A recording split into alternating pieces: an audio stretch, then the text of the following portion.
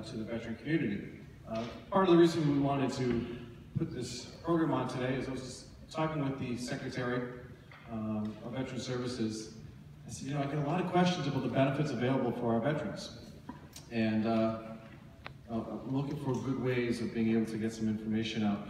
And uh, the Secretary said, you know, this is a great way uh, that he has seen some of my colleagues in the House bring the veteran community together and be able to talk about the benefits available to you all. So uh, really happy to, to bring you all here, and I thank you all for being here. Um, I wanted to kick things off um, by first recognizing that you know Massachusetts um, has, is ranked in the top of the nation for the way that we treat our benefits for our veterans. Um, treating our veterans with the respect that you deserve, making sure we're able to take care of you after everything you've done for our nation uh, is certainly a priority of the legislature.